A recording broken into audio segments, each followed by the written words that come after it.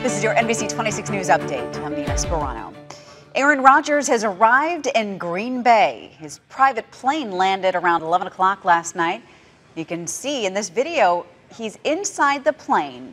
And later, he's seen getting off the plane and taking a few photos. Rodgers was then escorted away to his private car.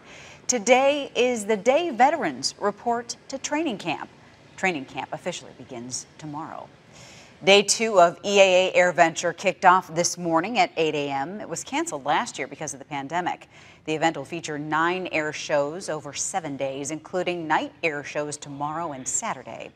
In case you ever wondered how EAA came to be, Paul Poberezny was an aviator, entrepreneur, and aircraft designer founding EAA in 1953. His flight experiences began as a high school student and continued through service in World War II and the Korean conflict, according to EAA. Between the wars, he began his hands-on approach to aircraft design and building that would direct his future and his legacy. He passed away at age 91 in 2003 with a career spanning more than 70 years of flight at the controls of more than 500 different aircraft.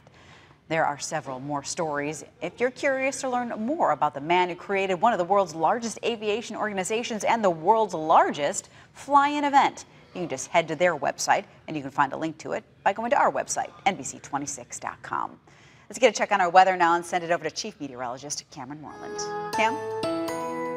Nina, we're looking at warm and humid conditions. Yesterday we had 90s. Today it is mainly 80s, but you can see 90s and low at hundreds just off to our south and west. And where we go from 70s and 80s to 90s and 100s, we have a frontal boundary, and that frontal boundary is going to be active today into tomorrow. Chance for a few thunderstorms this evening, a better chance for severe thunderstorms tomorrow evening, which could have a big impact on EAA. We'll have more on that coming up on NBC 26 at 5, 6, and 10. We'll see you then. Have a great day.